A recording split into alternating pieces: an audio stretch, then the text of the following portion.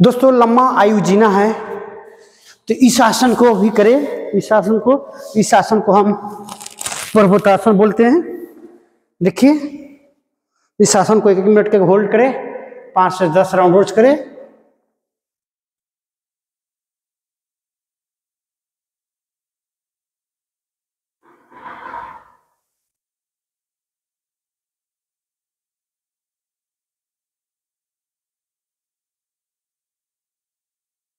इसको पर्वतासन बोलते हैं। ये आसन करके आप अपने आयु को लंबा कर सकते हैं, आप लाइफ लॉन्ग जी सकते हैं, आप फिट रह सकते हैं।